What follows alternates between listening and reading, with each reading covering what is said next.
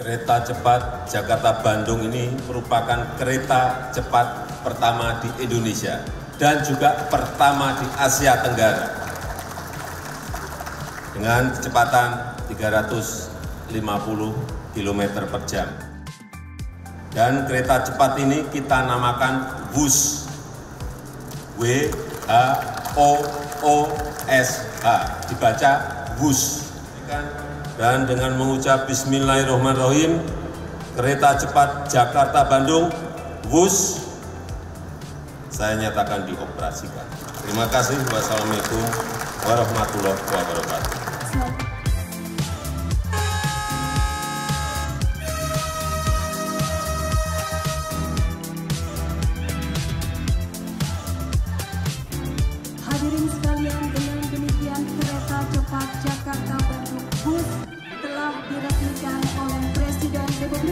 Indonesia.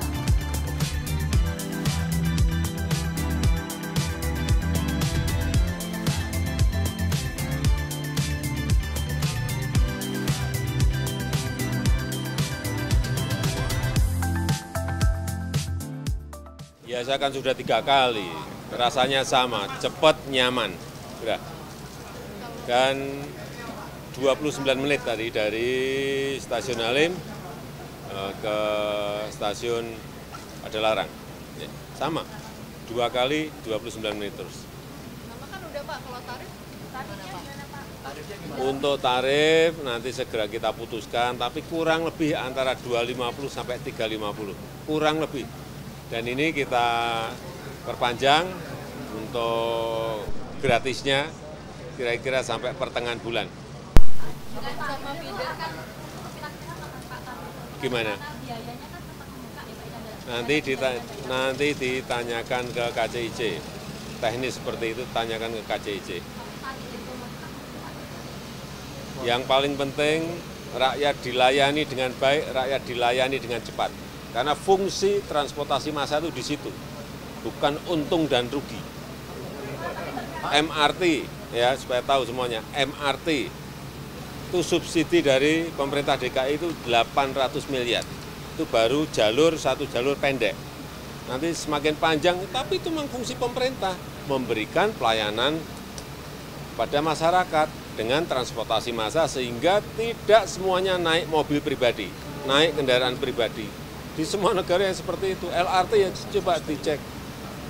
Hanya kita mempunyai skim yang berbeda-beda. MRT dengan Jepang, pendanaan juga Jepang, konstruksi juga Jepang. LRT semuanya dari dalam, dari Inka, dari uh, Wika, kereta cepat, beda lagi skemnya, jadi berbeda-beda.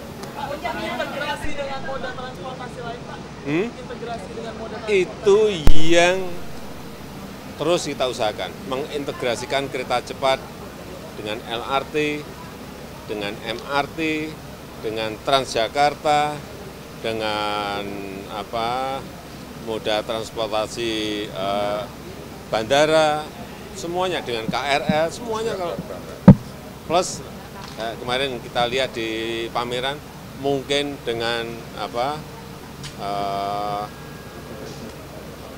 moda aplikasi semuanya. Sementara ini nggak ada.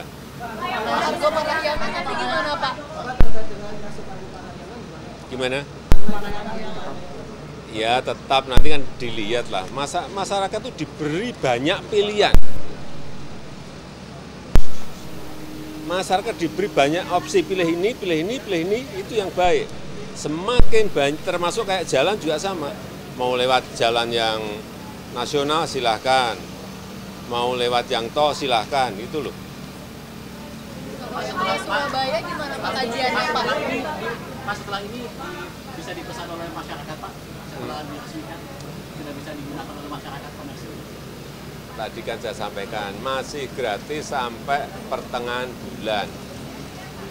Setelah itu nanti diputuskan